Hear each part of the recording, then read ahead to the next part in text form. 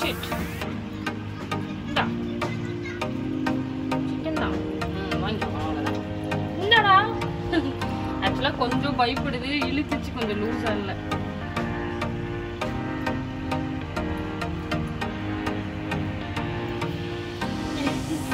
Chicken lollipop சாப்பிட்டான்.